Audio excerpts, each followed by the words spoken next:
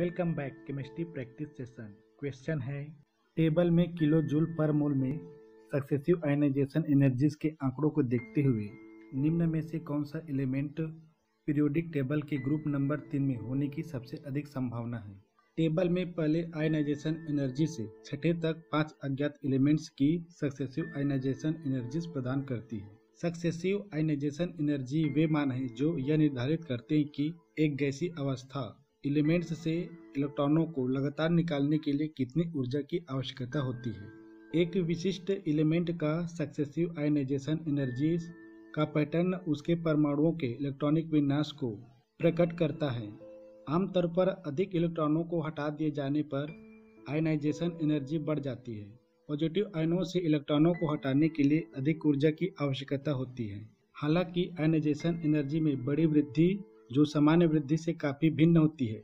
यह यह दर्शाती है कि इलेक्ट्रॉनों को नाभिक के करीब वाले एनर्जी लेवल से हटाया जा रहा है। नाभिक के करीब वाले इलेक्ट्रॉन में इलेक्ट्रोस्टैटिक आकर्षण से अधिक मजबूती से बंधे होते हैं, इसलिए उन्हें हटाने के लिए अधिक ऊर्जा की आवश्यकता होती है। आइए पाँच अज्ञात एलिमेंट्स में प्रत्येक के पैटर्न पर एक नज़र डालते हैं, ताकि उनके इलेक्ट्रॉनिक विन्यास को प्रकट किया जा सके। और यह निर्धारित किया जा सके कि पीरियोडिक टेबल के ग्रुप नंबर तीन में कौन सा हो सकता है। चौथे और पाँचवें आयनाइजेशन एनर्जी के बीच एलिमेंट एक में आयनाइजेशन एनर्जीज में सबसे महत्वपूर्ण वृद्धि हुई है।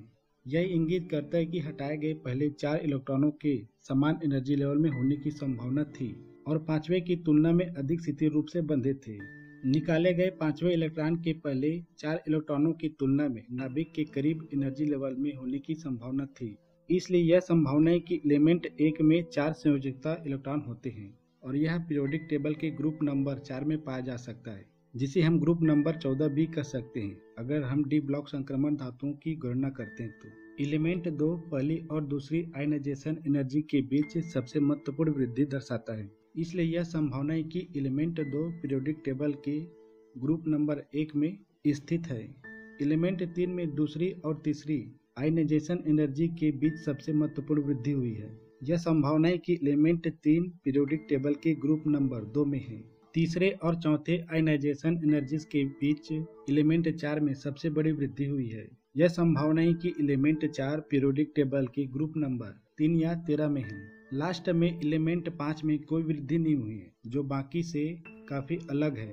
तो यह ग्रुप नंबर 16, 17 या 18 में हो सकता है। अतः पीरियोडिक टेबल के ग्रुप नंबर तीन में जिस एलिमेंट के होने की अधिक संभावना है वह एलिमेंट चार है।